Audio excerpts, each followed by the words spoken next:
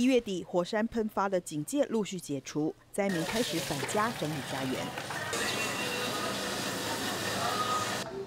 七十六岁的佩拉吉亚在慈济职工的陪伴下，也回到了家。眼前所见还在他能接受的范围内。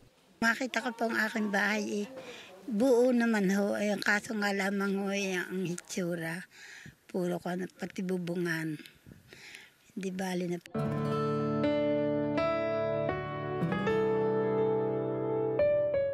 火山喷发后，巴达彦省接连发生多次地震。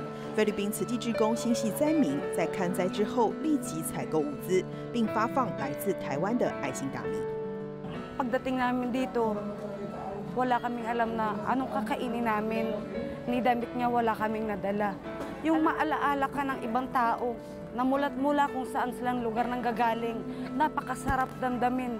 Kaya minsan, yung pasalamat namin, Uh, nagtatrabaho, naglilinis kami sa sarili naming iskinita sa bahay namin. Ah, ang Chuchi po yung number one na nagbigay sa amin ng financial. Ah, Tapos ngayon nga po na nakita namin ulit sila, masayang masaya po ako na ah, isa sila na naman sa pinakamalaking foundation na tumulong dito sa amin. 慈济灾后的迅速援助，当地民众形容宛如久旱的及时雨。志工也带动大家祈祷， 不少妇女在此刻将累积的压力释放出来。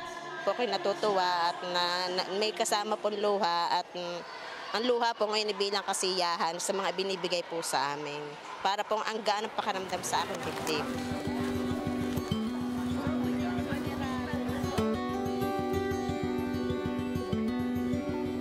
职工准备的物资中，除了生活用品、毛毯和大米，还有 N95 的口罩，让居民在清理家园之际，避免吸入过多火山灰，也能做到防疫。